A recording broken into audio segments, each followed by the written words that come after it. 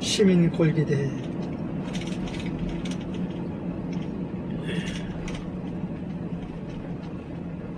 현수막이 많이 걸려 있습니다. 지금부터 행동으로 보여준다. 뭐 안보위생에 대한 정당한 보답을 달라. 평화는 갖다 행동으로 동두천 살려낸다. 어, 반환 약속 이행하라. 이제는 투쟁으로 쟁취한다. 뭐 이런 현수막인데 한두 개가 아닙니다. 지금부터 2억 예산 가지고 지금 이렇게 하시는 것 같은데요.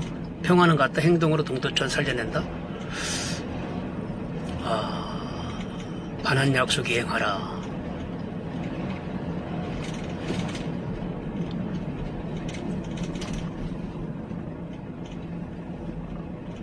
아, 정말 현수막이 아주 많이 붙어 있어요.